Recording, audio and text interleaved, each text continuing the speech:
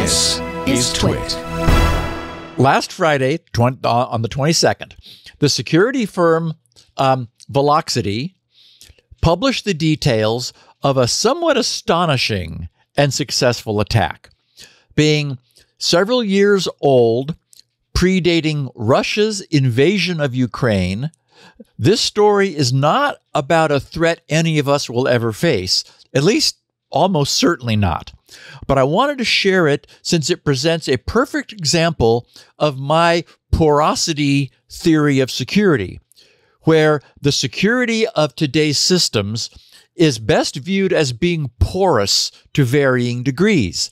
I, like this model of a porous system, which I think fits best because while the amount of effort an attacker may need to exert to obtain access to any specific system may vary, most systems can, or or yeah and uh, and and look at systems in the broadest sense. Most systems can ultimately be breached by a sufficiently motivated and determined attacker. Okay now that might mean you know arranging to install a subverted employee into the organization, you know, right, right, playing the long game. Or it might mean, you know, subjecting employees to phishing attacks of increasing complexity until you finally make it happen. The the the, the point is our systems are not infinitely secure. They're, you know, kind of secure, where it kind of varies. So, you know, the, the, the term absolute security is more of a concept than a reality today. Okay, so here's how Volexity opened their disclosure of this astonishing attack, which they're now able to talk about.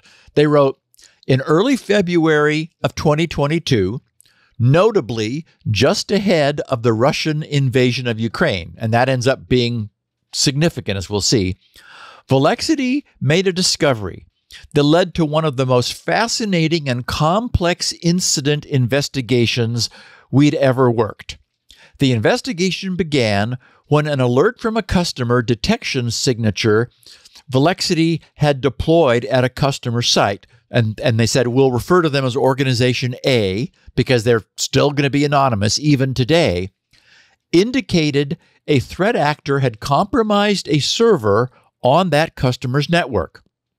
They said while Volexity quickly investigated the threat activity, more questions were raised than answers due to a very motivated and skilled advanced persistent threat, you know, APT actor, who was using a novel attack vector Volexity had not previously encountered.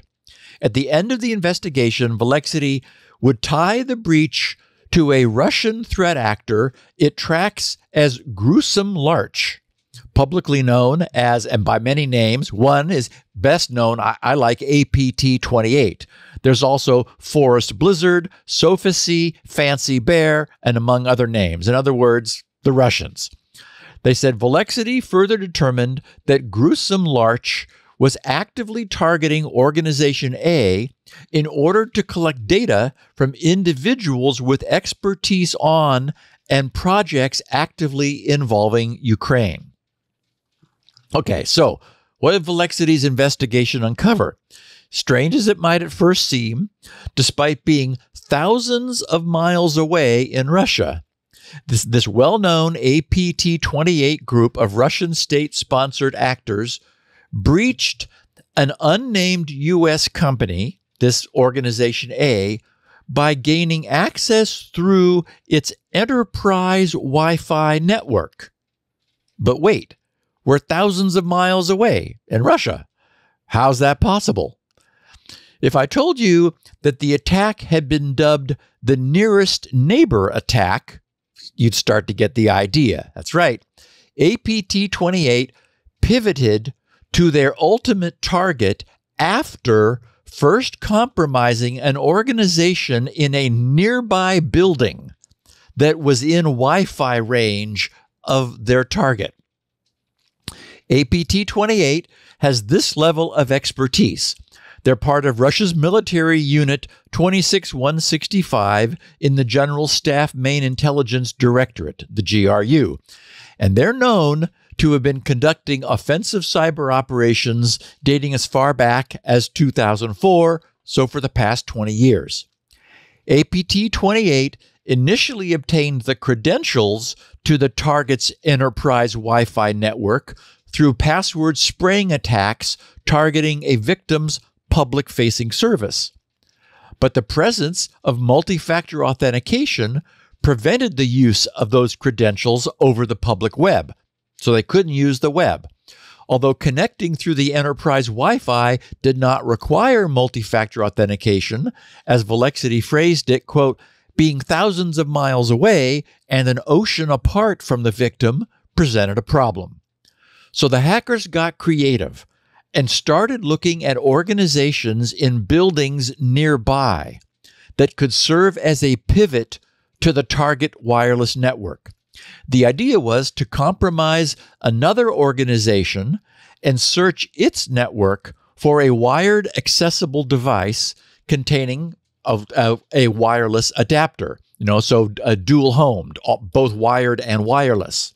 Such a device, whether it be a laptop, a router, or an access point, would theoretically allow the hackers to use its wireless adapter to connect to the target's the you know organization A, the targeted organization's enterprise Wi-Fi. Volexity wrote this. They said Volexity now determined the attacker was connecting to the network via wireless credentials they had brute forced from an internet facing service.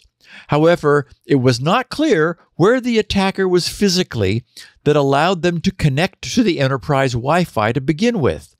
Further analysis of data available from Organization A's wireless controller showed which specific wireless access points the attacker was connecting to after overlaying them on a map, a physical map that had a layout of the building and specific floors. Volexity could see the attacker was connecting to the same three wireless access points that were in a conference room at the far end of the building near windows along the street. This gave Volexity the first evidence that, as they put it, quote, the call was not coming from inside the building, unquote. Could this be an attacker conducting a close access operation from the street outside? Nothing was ruled out, but Volexity was not too far off from discovering, discovering the real answer. Okay, so what they discovered was that APT 28 had compromised multiple organizations as part of this attack. They daisy chained their connection using valid access credentials. Ultimately, they gained access to a device con- uh, containing a Wi Fi radio that was able to connect to those three access points near the, the, the windows of the victim's conference room. Then, using a remote desktop connection, you know, RDP, from an unprivileged account, the threat actor was able to move laterally within the target network to search for systems of interest and to exfiltrate the data, which had been their target all along. The attackers generally used living off the land techniques, as they're now referred to, which rely on mostly on already present native Windows tools in order to minimize their footprint and thus reduce the chance of being detected. And one of the things that hap- that's happened in Windows through the years is the the number of of already present built-in utilities, you know, things you just don't even realize are there have really expanded. So for for for attackers who have a full have full knowledge of just how much available utility is in Windows for them to repurpose, um, there's a lot they're able to use. Even with all their research, Volexity was working from forensic data and was unable to trace the attacks back to the, the original attackers. Attribution at that point was still impossible. But a Microsoft report just this last April provided them with the missing clues. Volexity saw clear overlap in indicators of compromise, as we call them, IOCs, that clearly matched and pointed to the Russian Advanced Persistent Threat Group. Based on details in Microsoft's report, it's very likely that APT 28 was able to escalate privileges before running critical payloads by exploiting a zero day vulnerability back in 2022, CVE 2022 38028 that existed in the Windows print spooler service. Remember, we, we talked about that a lot a couple years ago within the victim's network. So, our unsettling takeaway from this is that close access operations, as they're known, that typically require proximity to the target, such as from an adjacent parking lot, sometimes is used, can also be conducted from great distances by compromising something nearby. You know, that makes an otherwise attack, an otherwise impossible attack possible. Um, and has the benefit of eliminating all the risk to the attacker of being physically identified and caught on site. Nobody can get them. The other, and this is the most significant takeaway, I think, for our listeners, is that everything should be logged. The mantra should be log everything. It's crucial to appreciate that it is inherently impossible to know which logs will be needed after the fact. And nothing brings an investigation to a grinding halt more quickly than running up against the, oh, we don't have logs of that. Today's storage is so inexpensive that it's no longer a factor. Logs don't take up much space. They contain so much redundant information and formatting, which is repetitive, that they compress down to nothing. And they serve as a form of time machine that later allow forensics investigators to venture far back into the past to view what happened when and to retrace the previously unseen footsteps of unknown network users.